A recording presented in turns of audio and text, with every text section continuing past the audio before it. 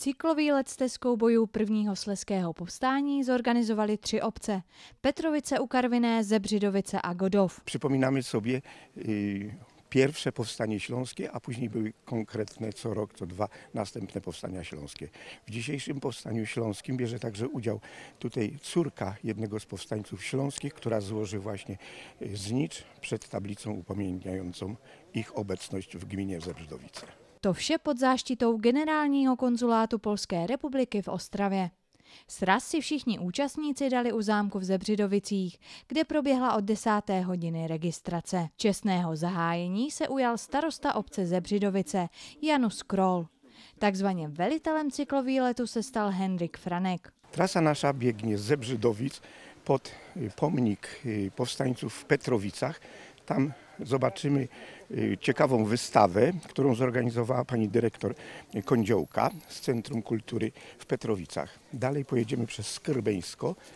W Skyrbeńsku także jest tablica upamiętniająca powstańców śląskich i dalej do Godowa pod dworzec kolejowy, gdzie właśnie powstańcy śląscy zebrali się właśnie tam i ruszyli dalej. První zastávka byla v Zebřidovicích, odkud se dále pokračovalo do Petrovic. Tady vlastně u nás v, centrum, v kulturním centru eh, se cyklisté zastavili, aby samozřejmě položili květiny a, a svíčky a vzdali hold, ale my jsme také zorganizovali letos eh, takovou malinkou výstavu, eh, která vlastně se týká toho vlastně povstání, nebo spíš toho cykl, cyklovýletu těch předešlých ročníků. Na jedné vlastně mm, mříži výstavní je jenom taková krátká připomínka evoluce, vlastně jak vzniklo kolo a jeho vlastně vývoj.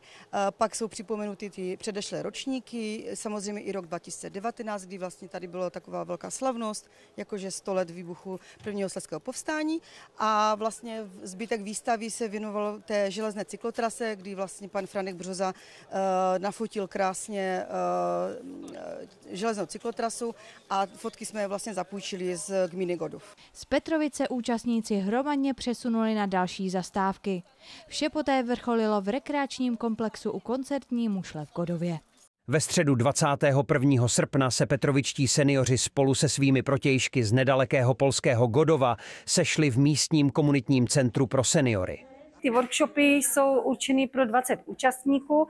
Našeho workshopu se zúčastnilo 10 českých seniorů a 10 polských seniorů. Dožínkový věnec symbolizoval slunce dávající zemi energii, ze které vzchází úroda. Tvoříme takové dílčí vyrobečky, které budou použity potom na tu velkou korunu. Vyrábíme sklasky, děláme takové větvičky, které se pak budou točit do věnce a bude dožinkový věneček malý. Bez odborného a zkušeného lektora se ovšem takovýto workshop neobejde. Dnešní workshop vede paní Dorotka Velcel, ta pochází z Godova.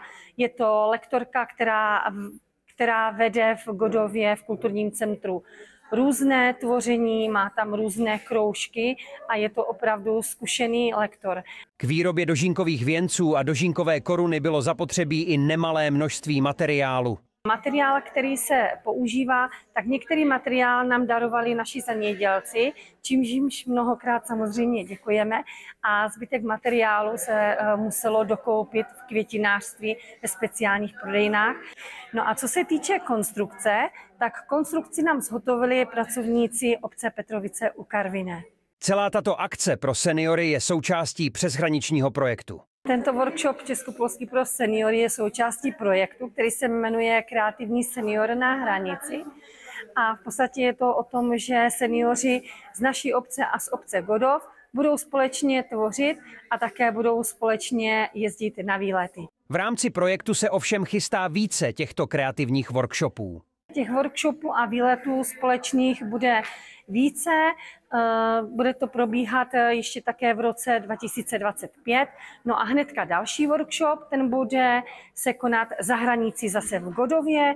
Tam budou eh, naši a jejich seniori vyrábět obrazy z mechu a navštíví potom eh, taková zajímavá místa v městě Hažlach a Brenna, kde uvidí eh, různé věci v domě přírodníka a také uvidí různé bylinky.